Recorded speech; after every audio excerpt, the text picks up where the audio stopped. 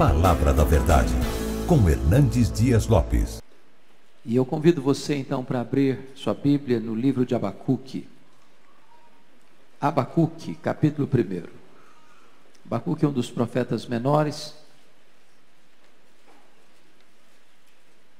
Está depois de Miqueias, depois de Naum e antes de Sofonias. Não sei se isso ajuda muito. Por volta da. Na minha Bíblia está na página 799. Eu não sei na sua Bíblia se isso também vai ajudar.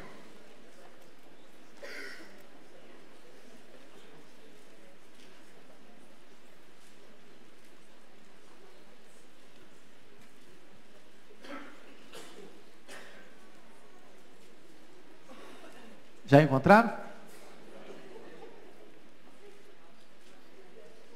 Ok. Então, abra sua Bíblia em Abacuque, capítulo 1, versos 1 a 4. Sentença revelada ao profeta Abacuque.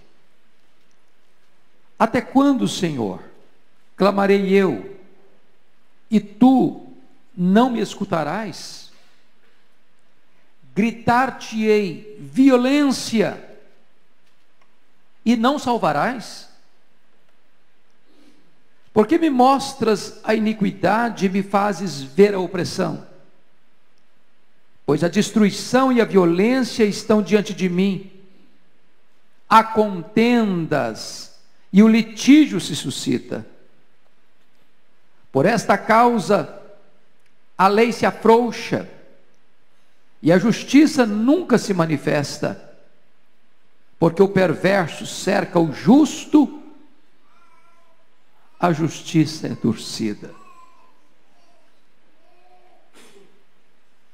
A impressão que eu tenho é que eu estou lendo uma página da Veja, da Isto É, a Folha de São Paulo.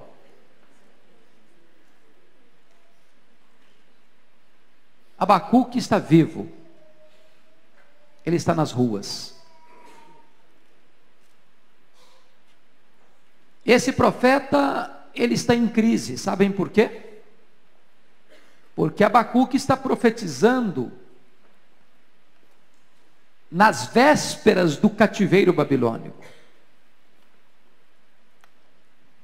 Ele está em crise porque ele olha para o povo de Deus, a nação de Judá, e vê o povo da aliança se corrompendo, se capitulando à violência, completamente rendido à iniquidade, a opressão prevalece nos tribunais, os fortes esmagam os fracos, a justiça não é praticada, a lei é torcida, os relacionamentos, sejam internos dentro da família, sejam nas ruas, está extremamente conflituoso. Para todo lado que ele olha, a sociedade está se decompondo, está se derretendo. Está entrando num processo irremediável de decadência. E esse homem clama a Deus, e Deus fica em silêncio. E ao mesmo tempo que ele clama a Deus e não vê resposta, e não escuta nenhum sinal do favor de Deus, não vê nada da resposta divina, ele vê também um inimigo poderoso, guerreiro, expansionista, truculento, marchando resoluto sobre Jerusalém para esmagá-la. Ele está em crise. Mas a crise desse homem pulsa no seu e no meu coração. O grito dele ecoa nos ouvidos da história. E a voz desse homem está nas ruas, está nas praças, está nas salas das universidades, está nas cortes do poder judiciário, nos salões dos palácios e no sacrário irrequieto da nossa alma. Por que, que o mal prevalece? Por que, que Deus não intervém? Por que, que Deus não dá um basta na violência? Por que, que o ímpio prevalece sobre o justo? Por que, que a lei é torcida? Por que, que nos tribunais não prevalecem a justiça? Por que, que alguém pior do que a gente vem e ainda nos oprime? E eu queria aqui, à guisa de introdução, levantar três pontos. Primeiro, os desobedientes colherão um dia seus amargos frutos. Preste atenção nisso. Depois da reforma religiosa de Josias, os reis que o sucederam, sucederam num momento de muita turbulência. Foram depostos rapidamente. Os que reinaram, reinaram debaixo de tutela estrangeira e fizeram o que era mal perante o Senhor. Chegou um momento em que Judá não tinha mais cura, que o reino de Judá estava determinado a cair. Aquilo que foi plantado precisou ser colhido. O mal que semearam veio à tona em termos de juízo.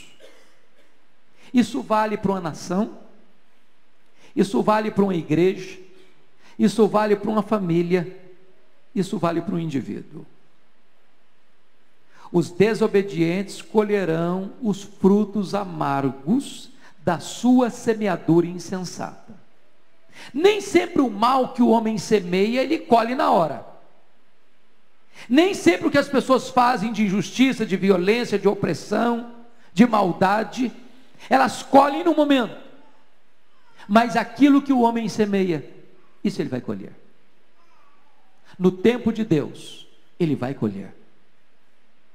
E Judá está aqui à beira de uma grande opressão, de um reino que virá sobre Judá, que virá sobre Jerusalém, que vai esmagar o povo, porque esse povo não se arrependeu, não se quebrantou, não se voltou para Deus. Segundo ponto, a guisa de introdução.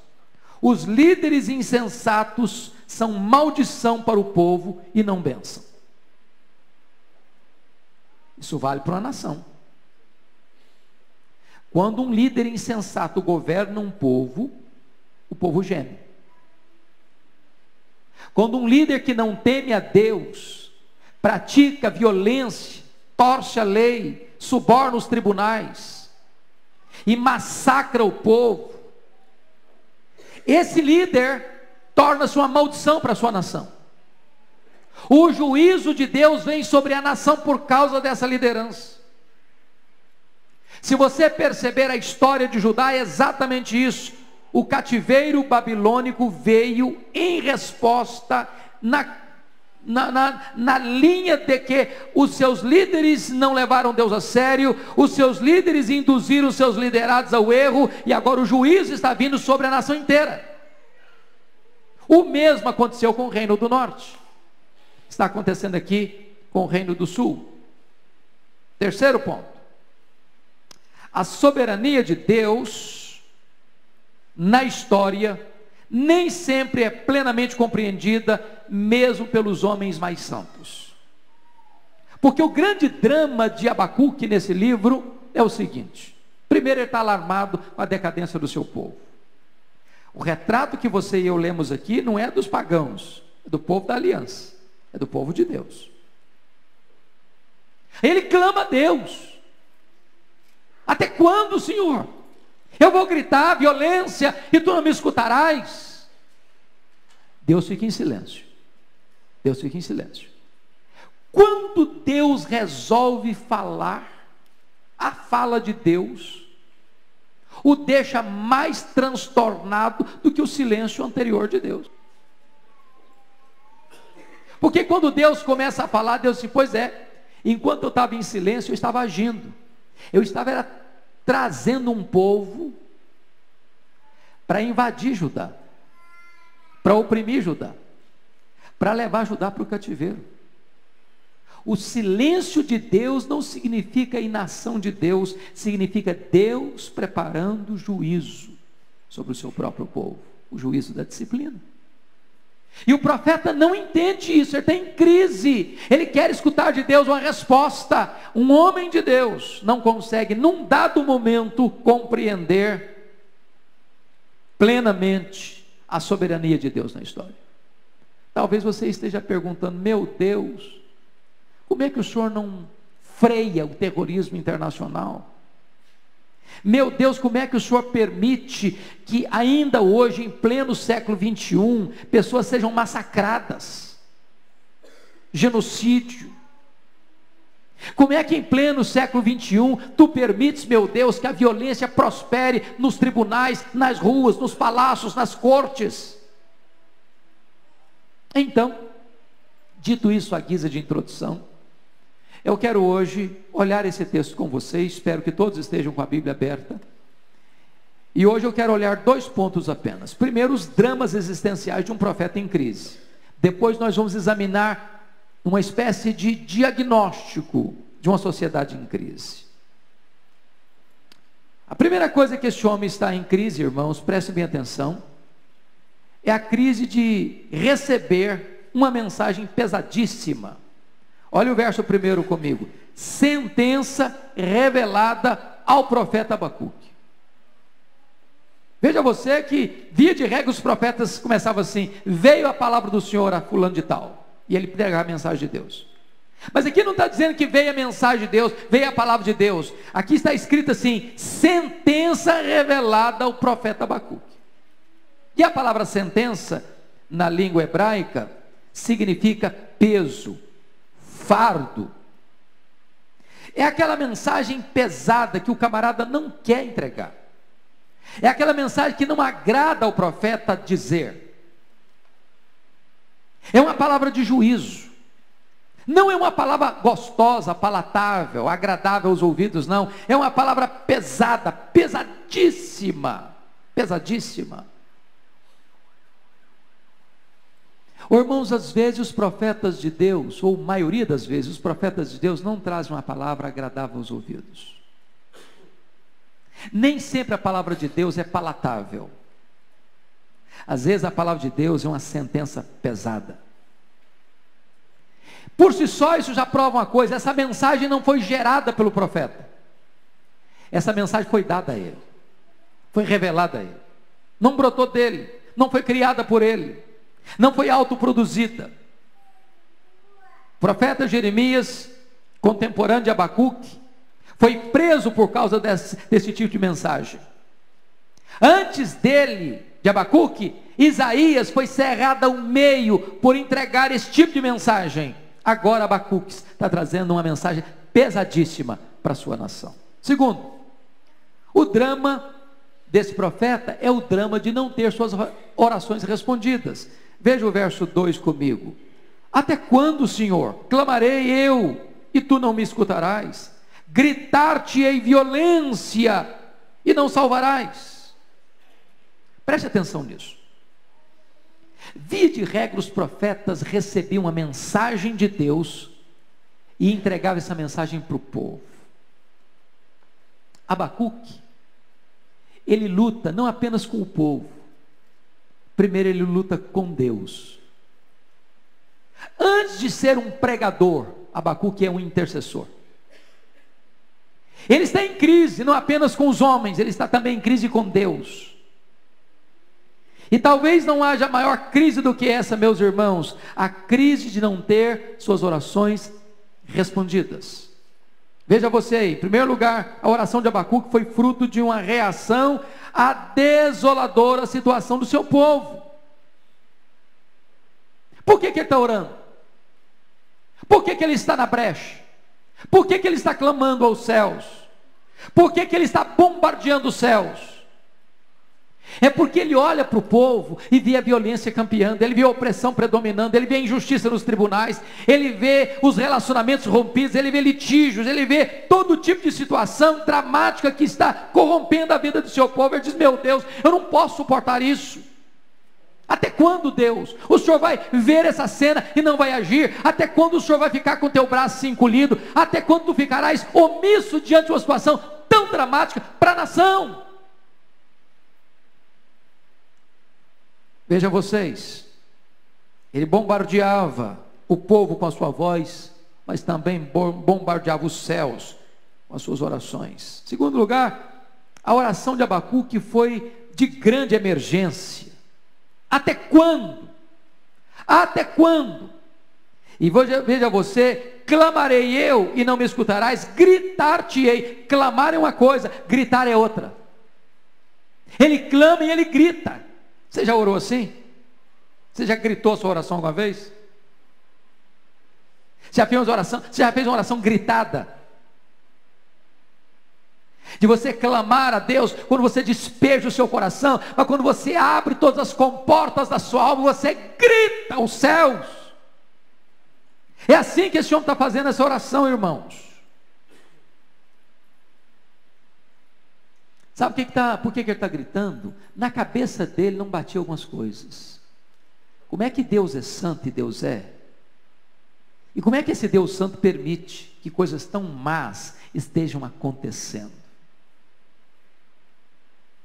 Já parou para pensar isso? Por que, é que o ímpio prospera? Por que, é que o justo é castigado?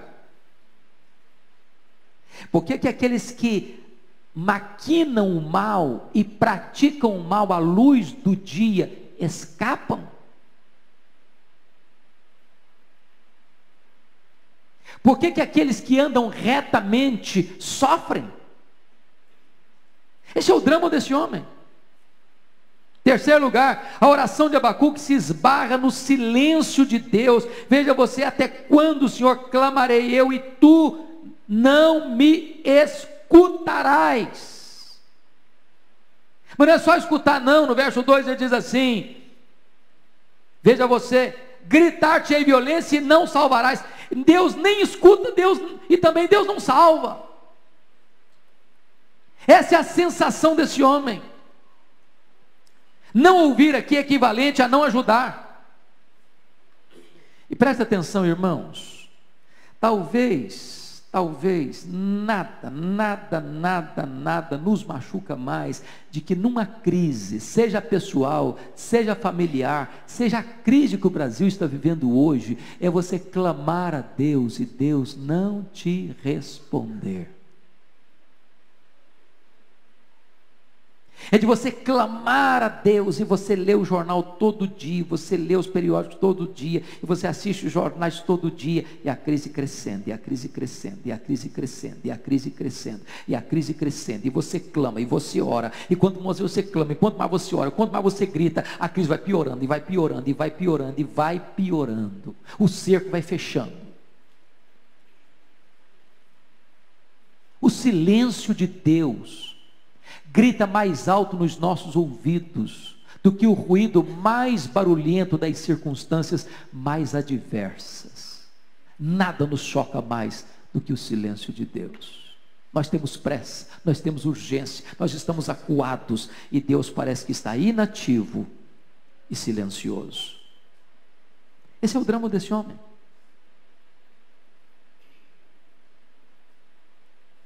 Quarto lugar, a oração de Abacuque se esbarra na demora de Deus, gritar-te em violência, e tu não me salvarás. O irmão, não é essa a sensação que o brasileiro está tendo hoje?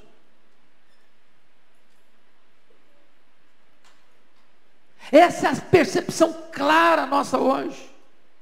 A violência está nas ruas. Ontem, ah, domingo de manhã, nós estávamos falando da questão do terrorismo.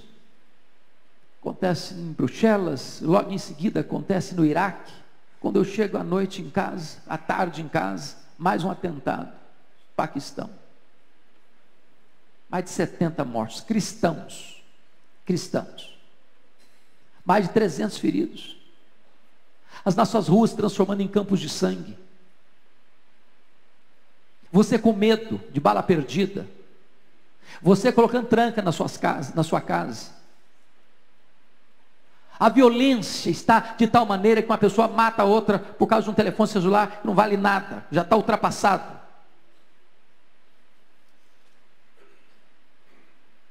O cenário do mundo é como se fosse um caldeirão de pólvora.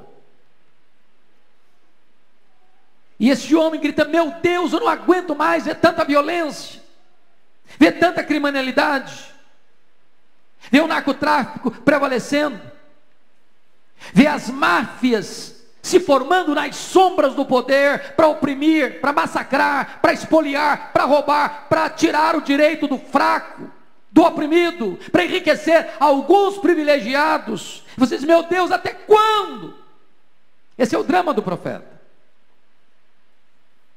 Mas mais do que isso, o profeta tem o drama de ver sua geração atolando-se num pântano de corrupção Olha o versículo 3 comigo. Porque me mostras a iniquidade, me fazes ver a opressão, pois a destruição e a violência estão diante de mim, há contendas e o litígio se suscita. Esse homem está olhando para a rua, esse homem está lendo o jornal, esse homem está assistindo às cenas da sua nação, da sua cidade. Diz, meu Deus, perdeu o controle. Perdeu o controle. Numa linguagem bem popular, endoidou todo mundo. Sabe o que me impressiona? Isso está acontecendo 600 anos antes de Cristo. Parece que você está descrevendo o Brasil. Parece que Abacuque está fazendo diagnóstico da nossa sociedade. Parece que Abacuque está aqui hoje vendo o drama que o Brasil está, num suspense político num desespero econômico, numa violência que campeia nas ruas. Nos tribunais, você fica com a grande angústia de perceber que é um aparelhamento para proteger os poderosos. Este era o cenário de Abacuque, este era o drama de Abacuque. Mas, eu gostaria que você olhasse comigo Segundo ponto, que é o último ponto da minha mensagem, fazendo agora um diagnóstico daquela sociedade, e penso eu, um diagnóstico do Brasil, do mundo.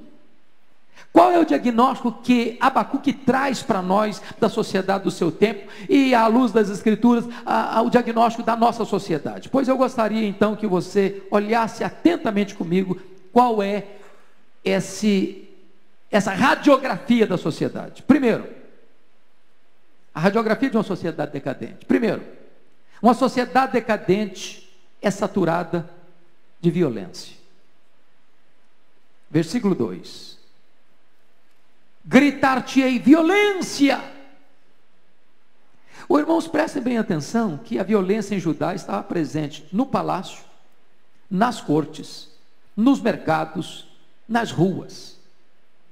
Quando você lê os profetas menores, você percebe isso. A violência estava primeiro no palácio. Os poderosos maquinavam alguma coisa de noite na cama, de manhã, eles botavam aquilo em prática porque tinham poder de fazer.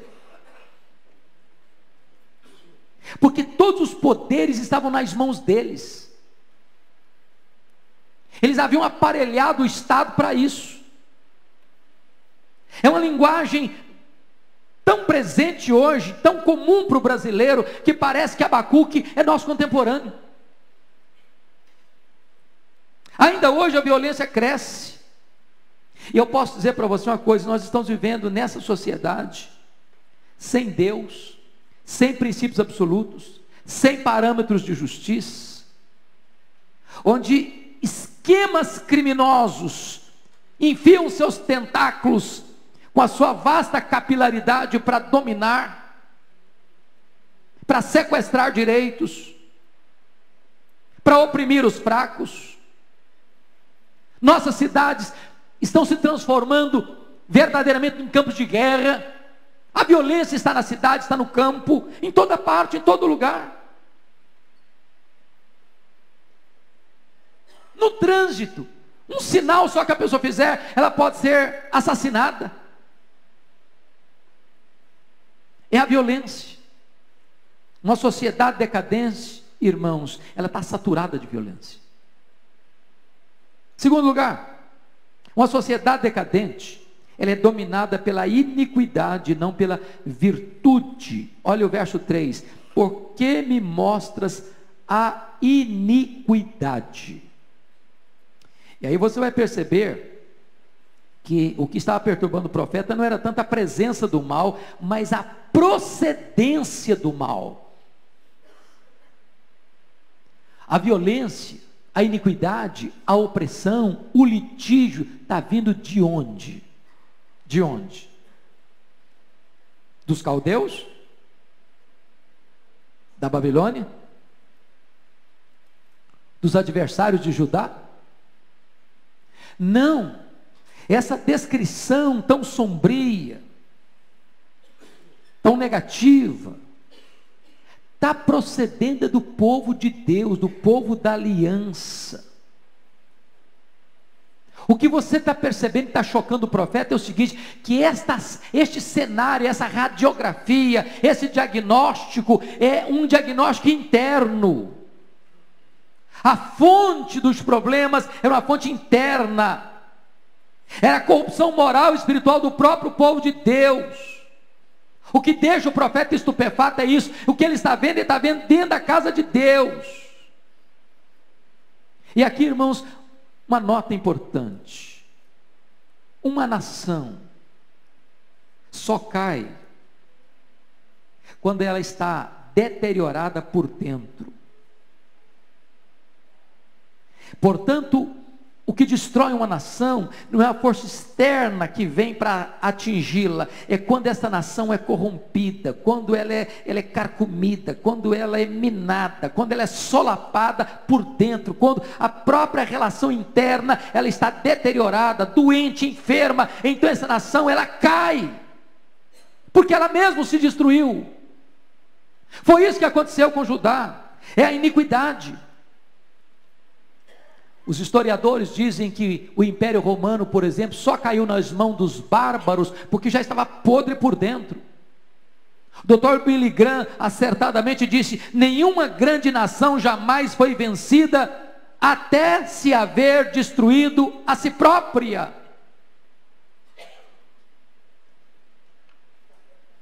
E é hora da gente parar para pensar, porque isso tem aplicação pessoal. Aqueles que se rendem à iniquidade se fragilizam. Nada adoece mais do que o pecado, nada enfraquece mais do que o pecado. O pecado destrói a pessoa, enfraquece a pessoa, mina suas bases, solapa seus alicerces, destrói a sua força. É isso que está acontecendo com Judá. Terceiro lugar, uma sociedade decadente é marcada pelo domínio opressor dos fortes sobre os fracos. Preste atenção no verso 3. Porque me mostras a iniquidade e me fazes ver o quê? A opressão. O que é opressão, irmãos? O que é opressão? Opressão é o domínio truculento do forte sobre o fraco. Opressão é quando se arma um esquema de tal maneira que os poderosos não são alcançados. Eles fazem, escapam. Eles fazem com a plena convicção de que não serão alcançados, que eles não serão punidos, que o braço da lei não os apanhará. Então eles oprimem. Agora notem vocês que essas opressões não eram apenas, não eram apenas grandes, não, eram públicas. Olha o que o profeta está dizendo, porque me fazes ver a opressão. Não era coisa nos bastidores só, não. O negócio era explícito. Era a luz do sol. Era escancarado. Já tinham perdido o temor, o pudor, a violência, a opressão estava nas ruas, nos tribunais, nos palácios. Era uma espécie de violência sem freios. Era uma maré que estava trazendo um verdadeiro tsunami, inundando toda a nação. Quarto lugar. Uma sociedade decadente é onde estão presentes os sinais visíveis de destruição. Olha, por favor, de novo comigo aí, versículo 3: Pois a destruição e a violência estão diante de mim. Preste atenção aqui, destruição. A destruição e a violência estão diante de mim, é o que o profeta diz. Destruição de quê? Destruição de valores, destruição de marcos, destruição de absolutos, destruição de princípios. Pense no Brasil agora. O que está acontecendo com a nossa nação? Destruição de princípios, irmãos. Quando você diz para uma criança que ela que vai escolher que sexo que ela tem, o que, que, é isso? O que, que é isso? Se não é destruição de valores e de princípios. Quando você numa escola pública não pode mais comemorar Dia dos Pais e das Mães, porque agora não tem pai, não tem mãe, agora o negócio é neutro, é um território cinzento, o que, que é isso? Se não é arrancar marcos.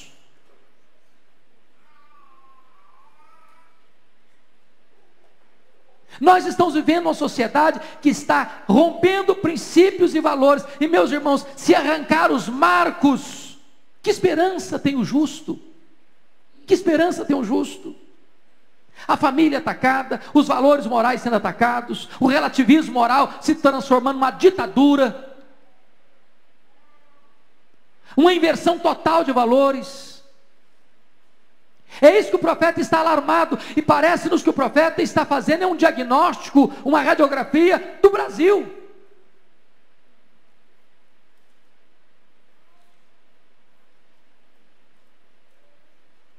Sabe qual é o nosso. Nós devemos parar para pensar, queridos irmãos. É que se o Brasil continuar nessa marcha, certamente o juízo de Deus virá. Não tenham dúvidas disso. De Deus não se zomba. Quinto lugar. Quinto lugar. Uma sociedade decadente é marcada por relacionamentos quebrados. Olha comigo ainda o versículo 3. Há contendas e o litígio se suscita. Veja você que são duas coisas diferentes. Contendas tem a ver com tensão relacional, a relação quebrada pela desavença. É uma disputa sem acordo. É um interesse egoísta que busca prevalecer sempre. É uma indisposição absoluta de caminhar na direção da reconciliação. Mas litígio é facção, é grupo, é aquilo que provoca distúrbio na sociedade, que enfraquece a família, que mina a vida doméstica, política e religiosa de uma nação. Qual o clima que nós estamos vivendo no Brasil hoje? Do a favor e do contra. Onde os ânimos estão sendo acirrados. Onde você vê numa praça pessoas se agredindo. Onde não se respeita as diferenças de opiniões onde estamos à beira de uma, uma convulsão social. E as contendas e litígios estão dentro do coração, estão dentro dos casamentos, estão dentro das famílias, estão dentro das instituições, estão dentro do parlamento, estão dentro das cortes, estão nas ruas. É isso que o profeta está vendo no seu tempo e é isso que nós estamos vendo nos nossos dias.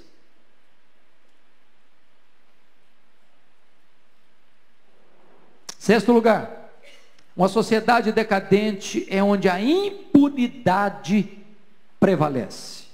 Veja o verso 4, o que, que ele diz: Por esta causa a lei se afrouxa. Por esta causa a lei se afrouxa.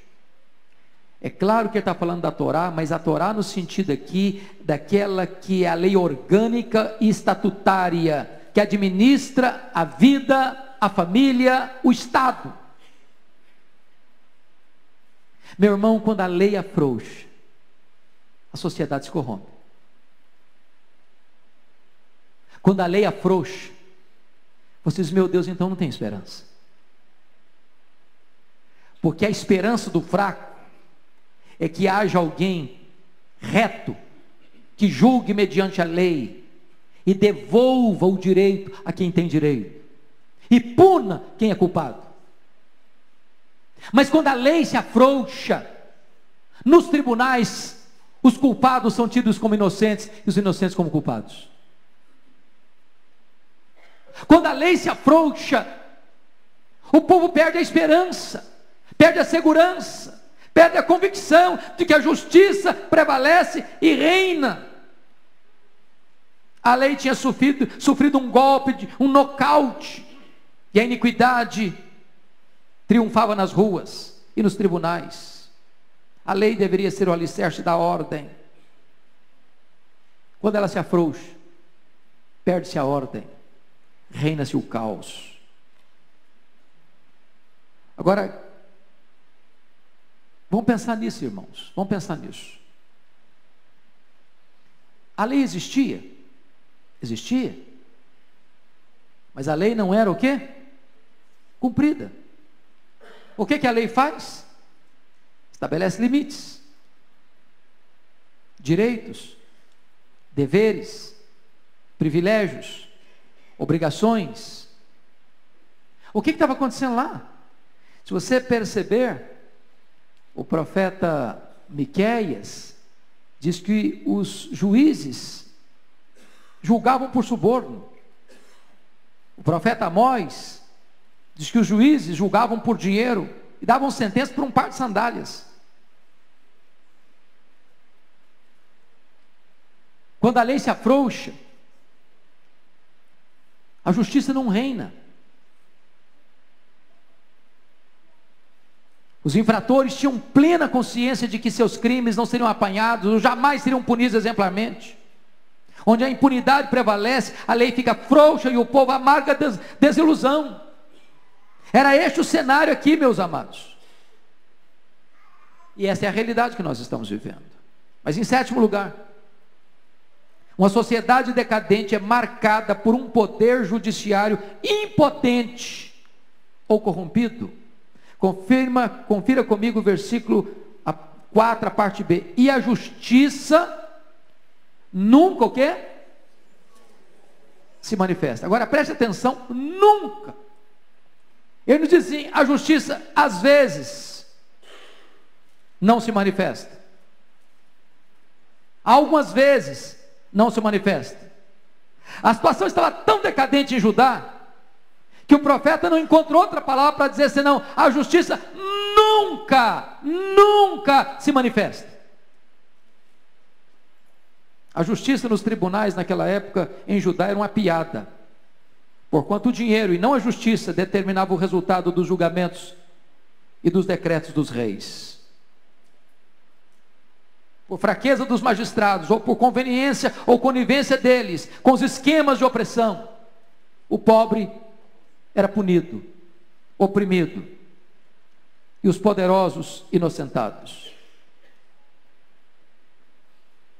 Leia os profetas menores, leia a história dos reis de Israel e de Judá, e vocês verão isso. A liderança da nação estava rendida aos crimes mais execrandos, e quando a liderança se corrompe, sabe o que, é que acontece? O povo geme. Mais do que isso, irmãos, o exemplo não vem de baixo para cima, o exemplo vem de cima para baixo. Por exemplo, na família, quem dá exemplo para quem? Os filhos para os pais ou os pais para os filhos? Se um pai ou uma mãe não leva Deus a sério, você acha que o filho vai querer levar? Se um pai e uma mãe são corrompidos, mentem, são injustos, são violentos. O que é que você acha que eles estão ensinando para os seus filhos? Quando aqueles que estão no topo, na liderança, em posição de destaque, corrompem, mentem, fazem e acontecem, o que é que eles estão instruindo o seu povo? É por isso que você vai ver na história de Israel e de Judá, quando um rei era um homem piedoso, justo, íntegro, o povo tinha uma vida ordeira e era abençoado.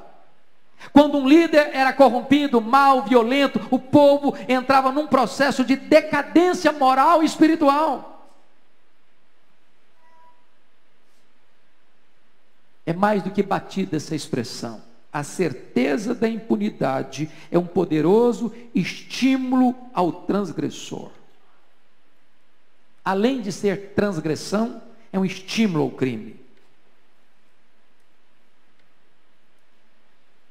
Oitavo lugar, uma sociedade decadente é onde se vê uma inversão total de valores. Olha o verso 4 comigo. Porque o perverso cerca o quê? O justo. Percebeu isso aqui? O perverso cerca o justo. Sabe o que significa isso aqui? O justo estava nas mãos dos bandidos, dos criminosos, e nada podiam fazer para se livrar dessa situação de opressão. Essa palavra cercar aqui traz a ideia do aparelhamento mesmo. Está cercado para todo lado, ele não tem para onde correr. Ele não tem a quem buscar. Para todo lado que ele vai, o ambiente está viciado para manter o status quo do crime, da opressão, da violência.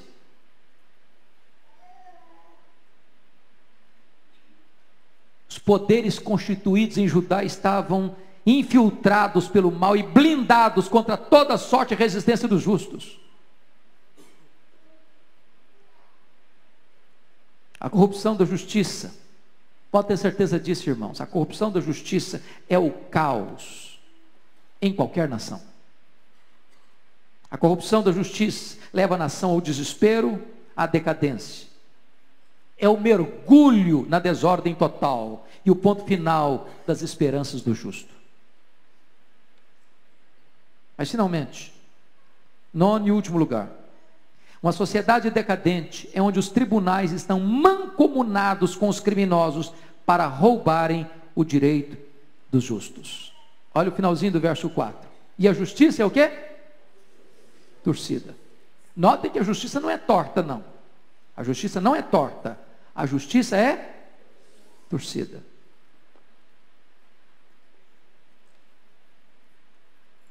Sabe o que está escrito? Sabe o que significa isso aqui? As sentenças ou as decisões dos tribunais eram dadas contrárias ao direito. Mas se a justiça era torcida, era torcida por alguém. Os juízes estavam de mãos dadas com os opressores, com os poderosos, para oprimir os fracos. Leia a história de Israel, o reino do norte, e vocês verão que foi esse pecado que levou o reino do norte ao cativeiro assírio. Agora leia a história de Judá e vocês verão que foi este pecado que levou o reino de Judá para o cativeiro da Babilônia. Agora leia a história das nações e vocês verão que este é o pecado que leva a nação à decadência. É por isso que nós estamos vivendo um momento tão dramático e tão decisivo na história do Brasil.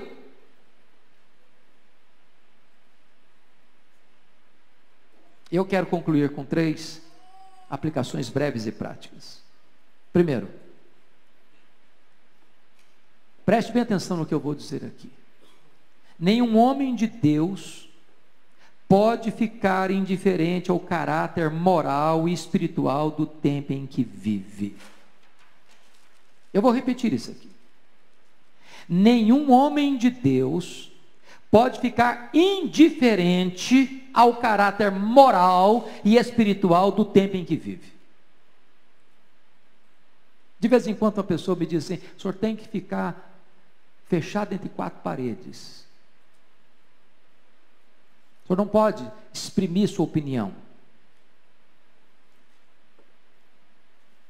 Abacuque era um profeta de Deus. E ele denunciou o pecado da sua nação. A igreja de Deus não pode se acovardar. O pecado é pecado. Seja no coração, seja na família, seja na igreja, seja nos tribunais, seja nas cortes, seja no palácio, seja nas ruas. Ficar indiferente a isso é ser omisso. E a omissão é um pecado grave aos olhos de Deus. Segundo, o homem de Deus deve nutrir o mais alto interesse de levar os problemas de sua nação a Deus em oração. Abacuque não foi um ativista social, não. Abacuque não foi um homem revolucionário do ponto de vista político, não. Abacuque entendeu que aquele peso que veio sobre ele deveria ser colocado diante de Deus em oração. Pense comigo, irmãos, se a igreja evangélica brasileira botasse 5 milhões de crentes lá em Brasília para falar nada, só para ficar em silêncio e se ajoelhar diante do palácio e clamar a Deus. Que evolução que isso produziria?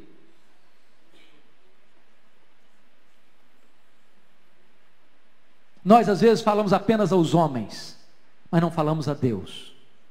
Aqueles que veem os dramas nas ruas precisam colocar esses dramas diante do trono da graça de Deus, porque só Deus pode intervir milagrosamente, restauradoramente, libertadoramente nessa nação, como foi aconteceu na história de Judá. Finalmente, finalmente, o homem de Deus jamais deve perder a confiança em duas coisas.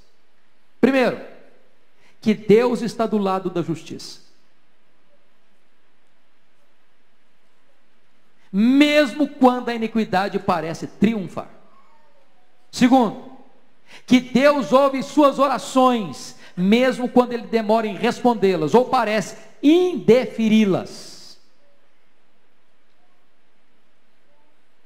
Vou repetir. O homem de Deus jamais deve perder a confiança em duas coisas. Primeiro, que Deus está do lado da justiça, mesmo quando a iniquidade parece triunfar. Preste atenção nisso, irmãos. Os ímpios, os maus, vão prevalecer algumas vezes até nos tribunais. Mas Deus continua do lado da justiça. Deus não corrompe o seu caráter. Deus não permite que os seus valores sejam distorcidos ou torcidos. Segundo, Deus ouve suas, minhas, nossas orações, mesmo quando Deus demora em respondê-las, ou parece não atendê-las. Deus ouve. Talvez agora Deus esteja em silêncio. Mas isso não significa que Deus não está ouvindo. Isso significa que Deus está trabalhando. Porque Deus trabalha no silêncio. Por isso nós temos esperança. A nossa esperança está em Deus. A saída para o Brasil está em Deus. A saída para a nossa vida está em Deus. A saída para a nossa família está em Deus. O caos parece estar prevalecendo e parece que a desordem está crescendo, mas quero dizer uma coisa para você: Deus não perde o controle. Eu preciso dizer isso porque eu não sei se você vai voltar aqui segunda-feira que vem. Eu espero que você volte, porque essa história precisa continuar. A história de Abacuque. Mas Deus tratou, Deus tratou de Judá, usando um remédio amargo. Quem não escuta a voz da graça, receberá o chicote da disciplina. Pode ter certeza disso. Sabe o que, é que acontece às vezes? Quando um povo vira as costas para Deus, sabe o que Deus faz? Permite um governo mau para disciplinar o seu povo. Quando esse povo não se arrepende, Deus pode trazer um povo mais amargo ainda para ser a vara da sua disciplina. E quando esse povo, que é a vara da ira de Deus, vem para disciplinar, não entende que é Deus que está agindo, Deus disciplina ele também. E no meio deste caos que você diz, meu Deus, parece que está tudo desmoronando. Você precisa entender uma coisa: o justo vive pela fé. E quando você pensa que o cenário é cinzento demais e que o caos se estabeleceu, você pode entrar na brecha e dizer: Meu Deus, aviva a tua obra no decorrer dos anos. Porque a crise jamais colocou limites na ação de Deus. É quando o homem chega ao fundo do poço, é que muitas vezes Deus age poderosamente e realiza um grande milagre de reavivamento na vida do seu povo. Essa é a nossa esperança, irmãos. Essa é a nossa convicção, essa é a nossa fé.